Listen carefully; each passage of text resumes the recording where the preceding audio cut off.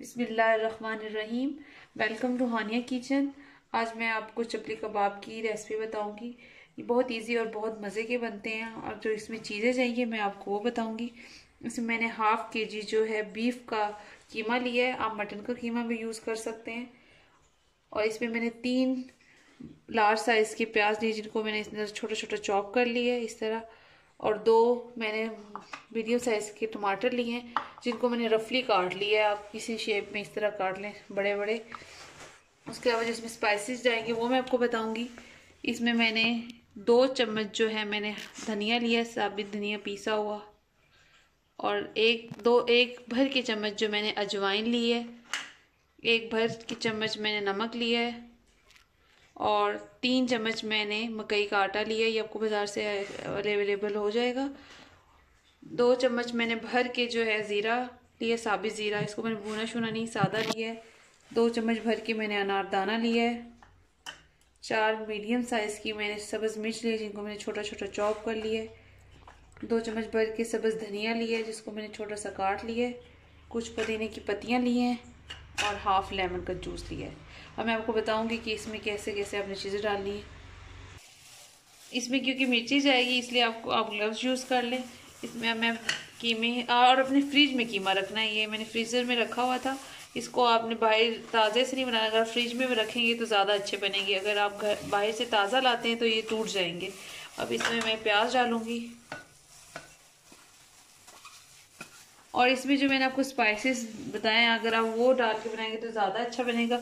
इसमें मैंने रेड मिर्चें और वो यूज़ नहीं किया, इस तरह गोश्त का जो असल अरोमा होता है, इसकी असल जो फ्लेवर होता है, वो ख़त्म हो जाता है।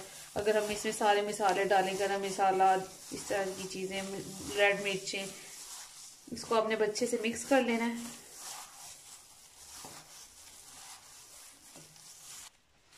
इसमें धनिया पाउडर डालूँगी।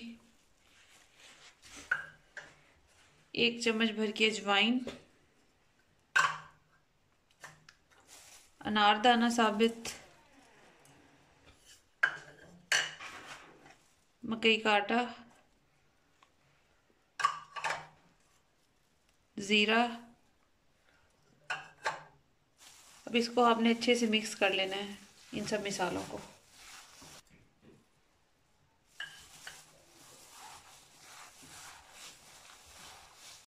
अब इसमें धनिया जाएगा कटा हुआ।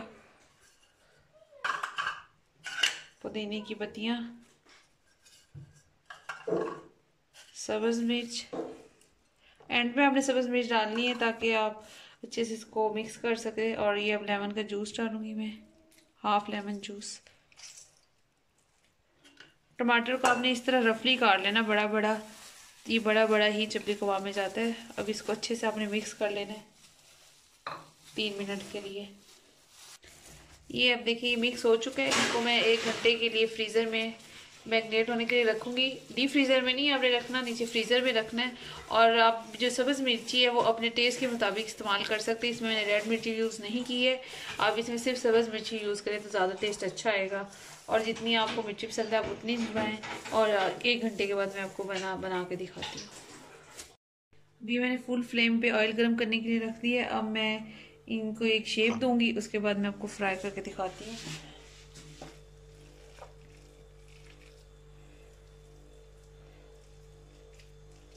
इस तरह से आपने इस शेप में टमाटर काट लेने, सारा फ्लेवर इस टमाटर के होता है। इसको आपने इस तरह इसमें हल्का सा प्रेस करना है और फिर आपने इसको फ्राई पैन में डालना है। ये देखिए, ये दोनों साइडों से ब्राउन हो चुका है, इसको आपने आहिस्ता से बाहर निकालना है। ताकि ये टूटे नहीं। इसी तरह मैं बाकी तैयार कर लूँगी। ये देखिए, ये तैयार हो चुके हैं। आप इसको हरी धनी की, हरी चटनी के साथ सर्व कर सकते हैं। आपकी मर्ज़ी है। ये मैंने पुदीने और सब्ज़ मिर्च और थोड़ा सा धनिया डाल के उसकी मैंने पुदीने की चटनी बनाई है। अगर आपको मेरी वीडियो अच्छी लगे लाइक करें सब्सक्राइब करें शेयर करें। अल्लाह हाफिज़।